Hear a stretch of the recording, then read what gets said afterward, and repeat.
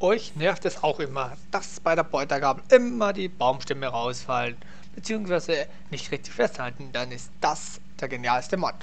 Zwar, er bringt bei der Standard-Beutergabel Spanngurte mit. Mit L kann man sie aktivieren und dann, ja, verstecken sie sich hier hinten drin. Okay. So, wir werden das Ganze mal testen. Also. Wir nehmen den Baumstamm hier. Wenn wir natürlich ordentlich erwischen. So.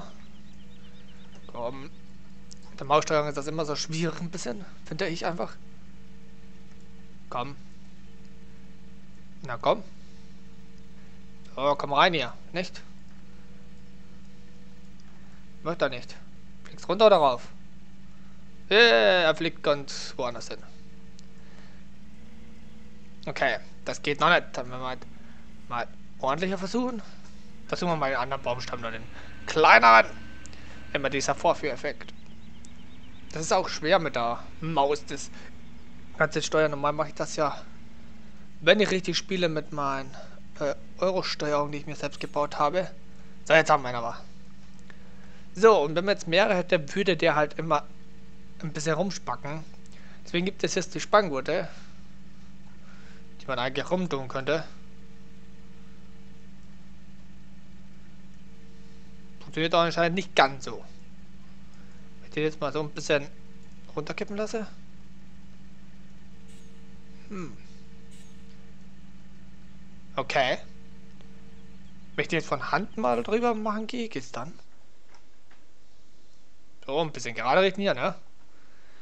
Ähm, Spanngurt anbringen. Nee, ist auch da hinten. Interessante Sache.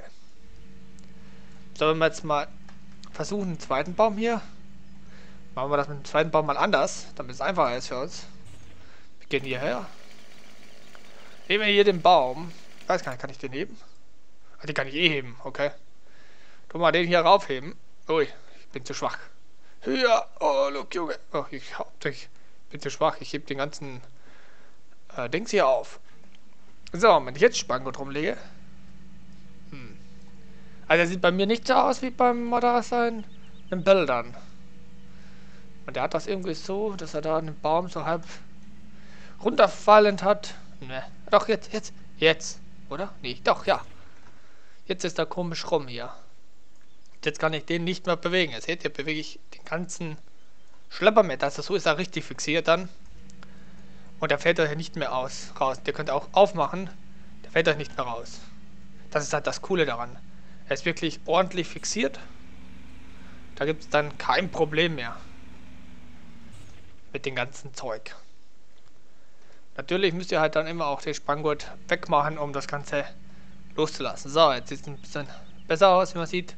Jetzt hält er ihn gut fest. So sieht man es schön. Ja, das war es eigentlich auch schon wieder.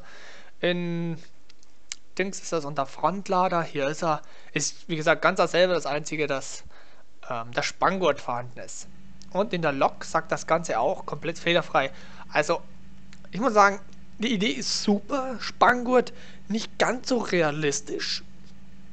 Also, so ganz realistisch ist natürlich nicht, dass man da einen Spanngurt rumtut, aber es erfüllt seinen Zweck und es ist gut. Wenn man wirklich mal ein bisschen besser arbeitet, ohne dass man so vorsichtig, weil die Physik da bei LS ist ja immer so eine Sache, ne? Also, die Idee gar nicht so schlecht. Mit Realität nicht so ganz zu vergleichen, aber guter Umsatz gefällt mir trotzdem. In diesem Sinne, bleibt dran, lasst ein Like da und tschüss Leute.